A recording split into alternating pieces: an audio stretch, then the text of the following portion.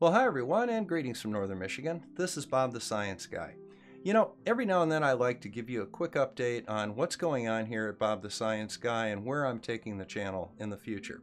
Now, I've got a major new series coming out on the Spanish influenza of 1918, and we're going to be looking at the approach to the influenza at that time, the impact it had on the United States in World War I, and what parallels we see with COVID 19.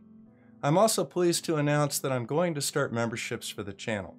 Now, some people have had some mixed reviews about memberships in the past, and I just wanted to kind of dispel a few things.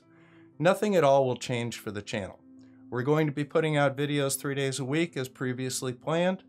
Every video I do will be released free of charge to the general public.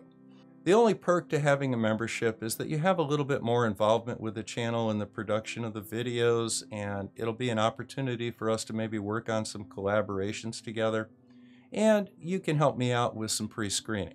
And the main purpose of the membership is just to give you an opportunity to maybe support the channel a little bit and get a few little perks in exchange, such as for early previews.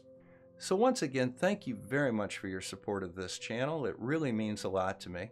I love having the interactions and the comments, and I look forward to maybe starting this new live chat.